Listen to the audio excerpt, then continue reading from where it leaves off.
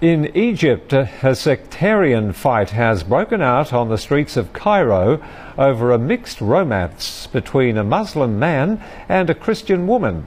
Egyptian state TV put Saturday's death toll around five, with 54 others injured.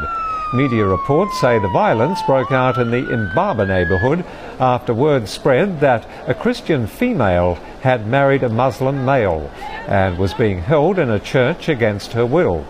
Gunfire from the melee could be heard on nearby rooftops. Firebombs thrown by Islamist radicals also set several homes ablaze.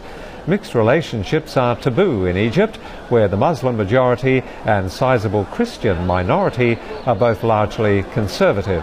The clashes mark an escalation in tension between the two sides. The strife also coincides with uncertainty surrounding the country's future after President Hosni Mubarak's ousting in February.